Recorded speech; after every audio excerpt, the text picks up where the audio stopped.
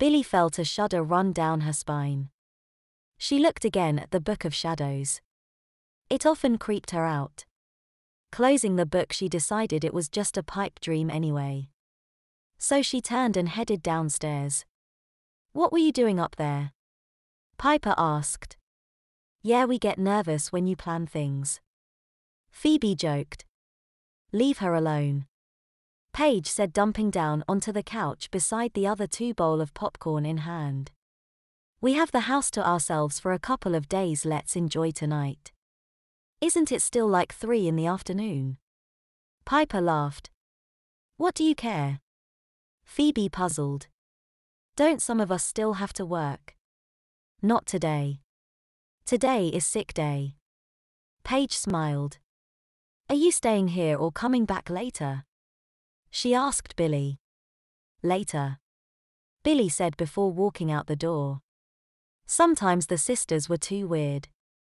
Luna grabbed the man from behind and broke his neck with a single twist. Taking his soul in with a single breath, she used the power she had stolen from Grondus to plant a tormentor in his body. Standing erect and straightening out its neck, the tormentor stood. Take this to the blonde witch. Don't let her see you. She barked. Handing the man shell a crystal and a piece of paper. Turning the shell wobbled on its feet and then began to walk straight to Billie's dorm. Staring up at the sky, Luna began to use another ability she had stolen.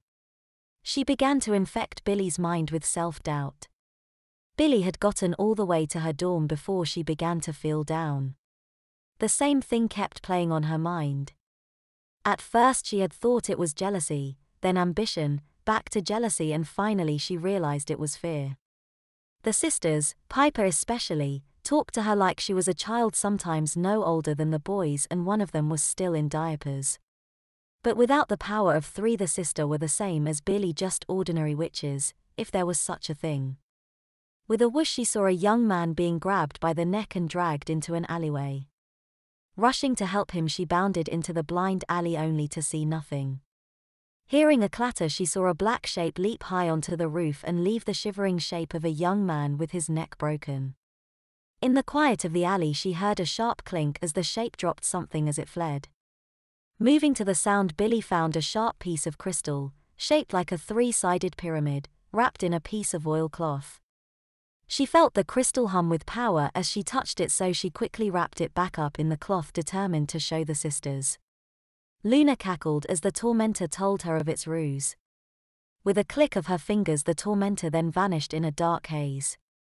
As Billie opened the door to her room, she dropped the crystal beside her computer and began to strip off.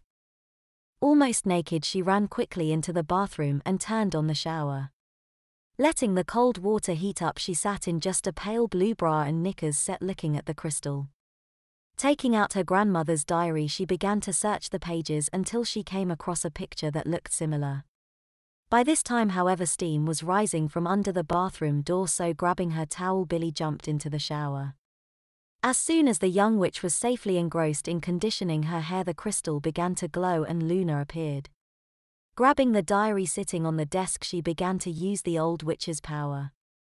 Incanting softly, she changed the words on the page. Then, when she heard the young witch began to hum softly to herself, she channeled a spell into the crystal. Taking a step back, Luna faded into nothingness.